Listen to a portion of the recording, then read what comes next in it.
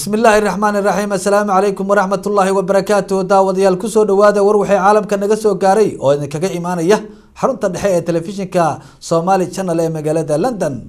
Qodobada warkeena ugu doorka roona waxaa ka mid ah. Madaxweynaha jamhuuriyadda federaalk soomaaliya xasan sheekh maxamuud oo maanta ka hadlay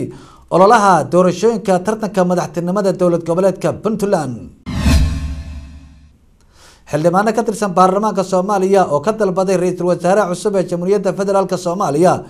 in uu xukuumadda cusub ee uu soo dhisayo kala tashto xildhibaanada baarlamaanka soomaaliya. Banaanbax ballaaran oo ay soo qaban qaabiyeen maamulka gobolka banaadir oo ka dhacay magaalada muqdisho.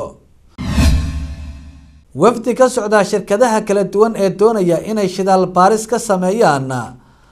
Guud ahaan somalilan qeybo ka mid a ayaa waxa ay kulan maanta la qaateen madaxweynaha dowladda somalilan axmed maxamed silaniyo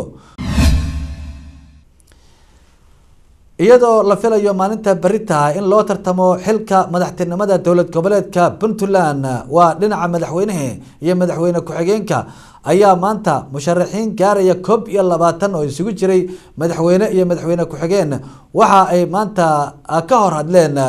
xildhibaanada baarlamaanka hortooda ee dowlad goboleedka puntland.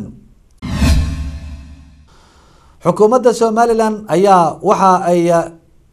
ka jawaabtay hadal ka soo yeeray guddoomiyaha xisbiga mucaaradka ee uced iyadoo dhinaca kalena xogayihii guud ee xisbiga mucaaradka uced uu ku dhawaaqay inuu iska casiray xubinnimadii uu ka hayay xisbigaasi. Wararka caalamka daawadayaal waxaa ka mid a